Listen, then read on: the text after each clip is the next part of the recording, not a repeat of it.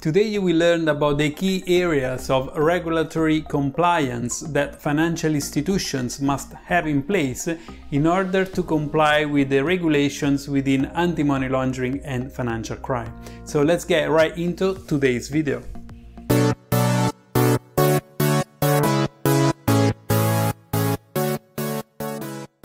Hi and welcome to FinCrime Agent. I'm Marco Beranzoni and this is my channel where I'm talking about financial crime and anti-money laundering related topics. If you haven't subscribed to FinCrime Agent yet, please hit the subscribe button right below and press the bell so you can get notified once new videos are going live on my channel. Check also the description of this video for very useful links and you can find also the FinCrime Agent page on Patreon where with a small contribution you can become part of the Patreon community and receive some unique material like copy of the slides that are presented in my videos. So let's move into today's video. We are going to talk about regulatory compliance. You will learn about the high level areas where financial institutions must comply in order to stay within the regulations for financial crime and anti-money laundering. The information on regulatory compliance that I'm sharing with you on this video today are really high level, but if you're now learning about regulatory compliance for banking and financial institutions, it should give you a good sense of the key areas and then you can learn more about those ones in the description of this video where you can see a link of the Financial Conduct Authority guidance and this is where most of this information are taken from. The first point that I want to talk about is around systems and controls. We will go into the details of all of the different areas that are in scope for the um, regulatory compliance. But just to start with, it's important that you understand that there will be policies and procedures across all these different areas that financial institutions must maintain updated and easy to access by all the staff. So this is one point to include in the system and controls having strong policies and procedures in place across all the areas of financial crimes. Within system and controls, financial institutions must be able to demonstrate that they have efficient systems in order to detect their potential risk and they must assess therefore those systems and monitor them regularly to make sure that they are fit for purpose.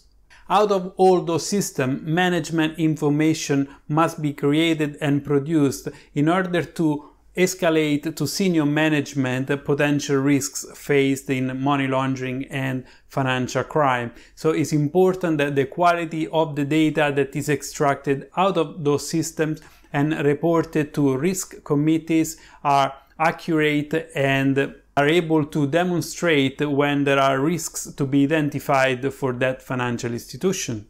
Another area to highlight in here is the staff training. There are trainings uh, rolled out to bank staff across the different areas of financial crime to make sure that they are updated with the new regulation and any changes with the operating model of the financial institutions.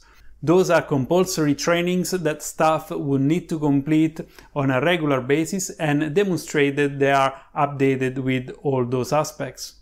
One more point within system and controls is the risk assessment that must be produced to highlight how financial institutions can adopt a risk-based approach and how they prioritize on the financial crime areas to be focused on at present and in the long term.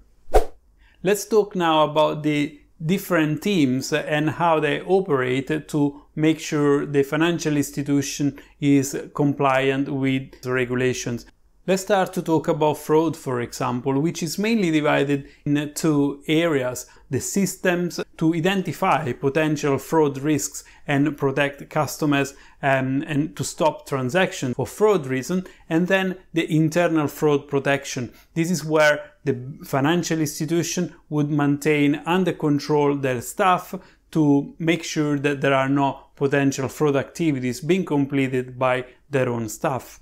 All those are completed by um, a number of systems and there will be procedures in place to demonstrate that they comply with the requirement for fraud prevention. One more area that I want to cover is the sanctions and asset freeze.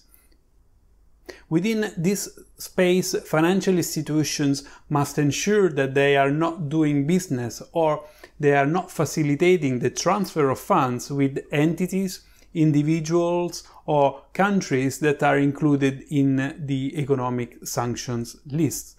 So systems must be in place in order to monitor those type of activities for customer name screening as well as transactions screening.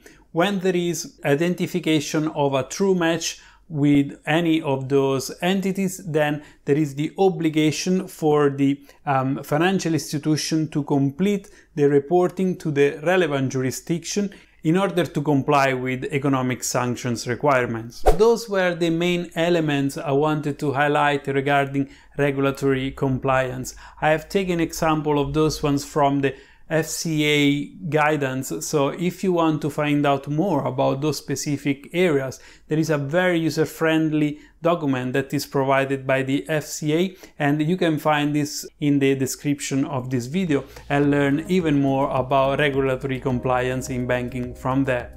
I hope you have learned something new today and the contents that I shared were useful for you. If you have enjoyed my video, please share it with your contacts that may benefit from this type of contents and remember to subscribe to FinCrime Agent and press the bell to be notified once new videos are going live. With that I'm at the end of today's video. Thank you for watching and until next time, see you soon.